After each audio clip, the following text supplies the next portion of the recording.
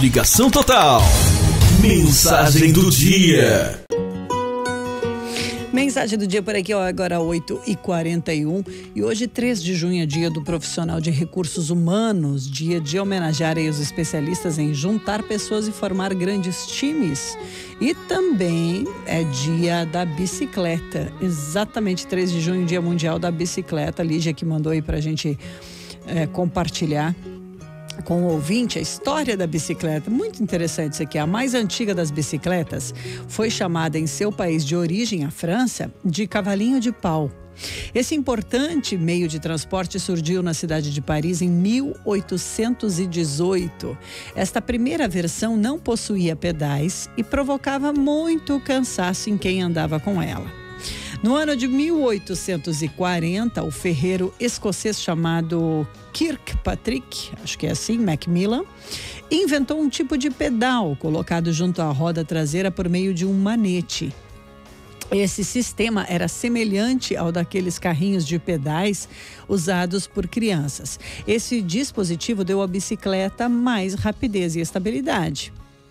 Em 1855, o ferreiro francês especialista em carruagens, Pierre Michaud, acho que é assim, inventou o pedal. E esse foi instalado num veículo de duas rodas traseiras e uma dianteira.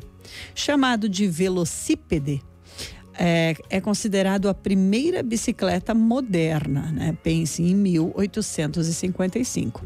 A primeira bicicleta a possuir um sistema com corrente ligada às rodas foi projetada por Lawson no ano de 1874. Seu terceiro modelo, a biciclete, foi desenhado em 1879 e esta bicicleta já possuía maior estabilidade e segurança. Na década de 1880, o inventor inglês John Kip Starley projetou uma bicicleta semelhante às atuais. Possuía guidão, rodas de borracha, quadro, pedais e correntes. Curiosidades históricas: a primeira fábrica de bicicletas do mundo foi criada em 1875 e chamava-se Companhia Michaud. Foi a primeira fábrica a produzir bicicletas em série.